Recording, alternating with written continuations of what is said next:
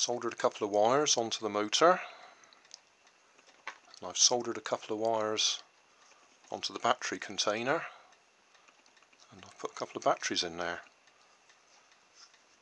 So now we need to connect them up to the connection box. I've bent my paper clip. You can't really see how it's going to work till I put it into the connector block and then you'll understand wired it up. So I guess I better just show you what we've got. We've got one wire coming from the batteries goes to just there. The other wire from the battery goes to there. That's a straight through connection goes round to the motor. From here instead of going straight through to the motor we go to one piece of that paper clip and then the other piece of the paper clip is just there which goes through to that wire. And the on off switch is push that down and it makes contact.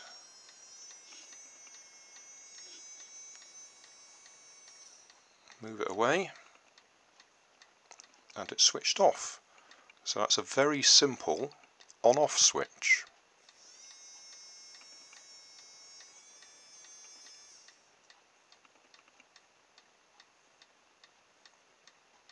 Now we need to make the chassis out of the popsicle sticks.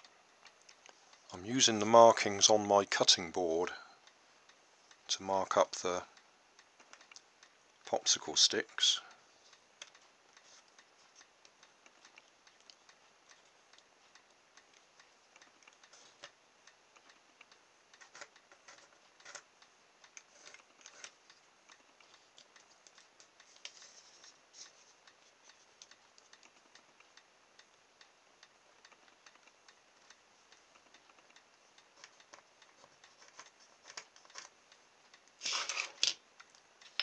Now I'll drill some holes in them.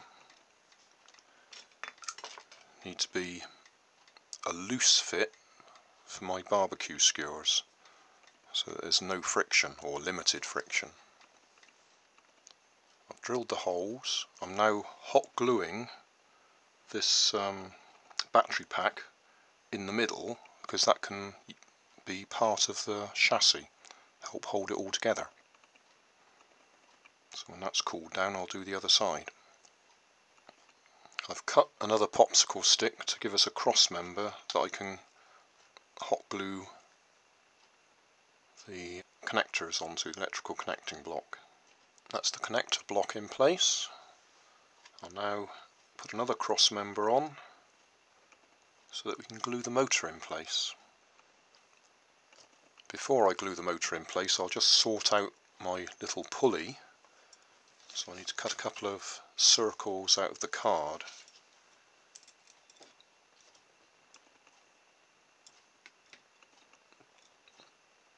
They're a bit bigger than that little wheel.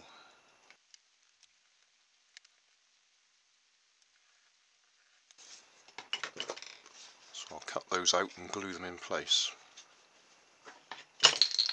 That's that little toy wheel sandwiched between two pieces of cardboard. I need to adjust it a little bit when it's cooled down, just hot glued it in place. Now we need to sort out the wheels.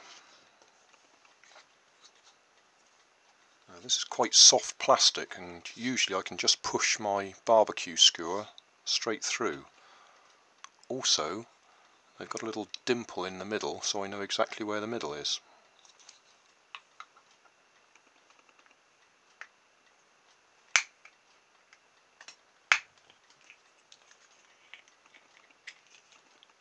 That'd be a good tight fit.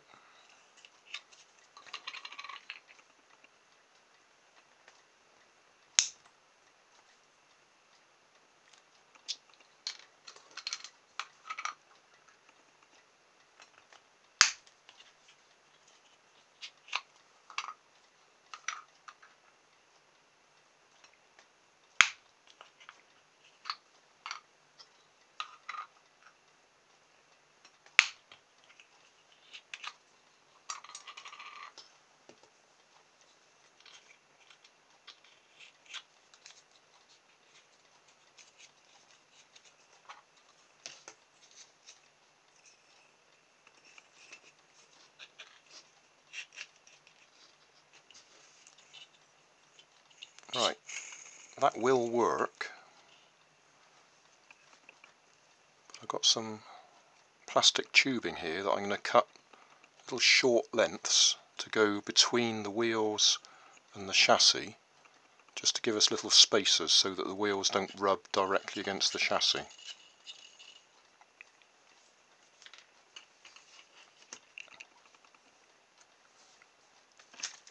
So I'll just cut some short lengths.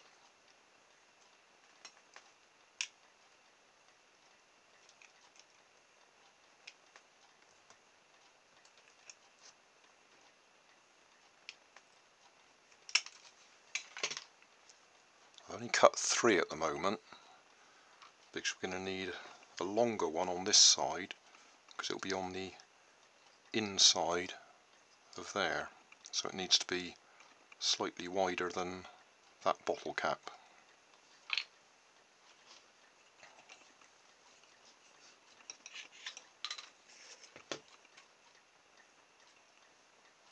some spacer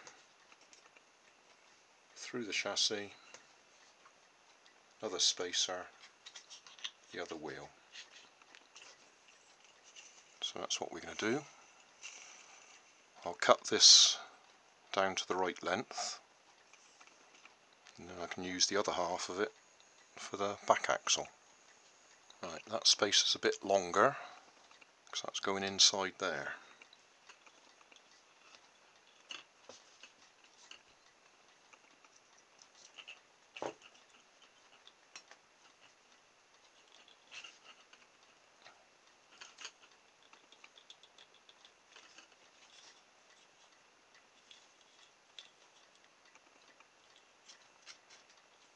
Fact I haven't made it quite long enough so I'll do another piece.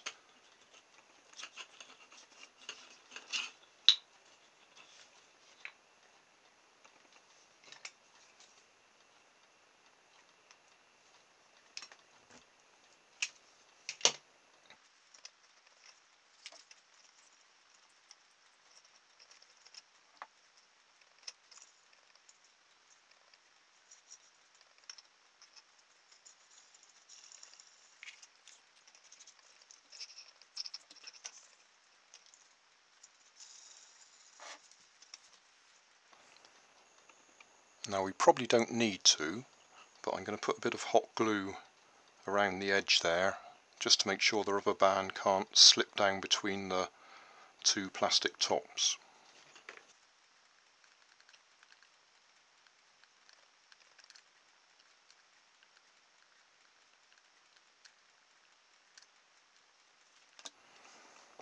So I'll let that cool down, then I'll trim the axles and find a rubber band that's going to fit. It would probably have been a better idea to find the rubber band before I glued the motor in place because then you can adjust the position of the motor to get the tension right. I've trimmed the axle. I've got a bag full of rubber bands here.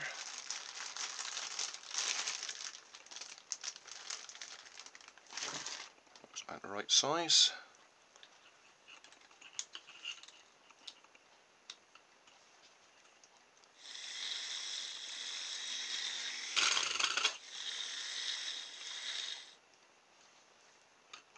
Like that works.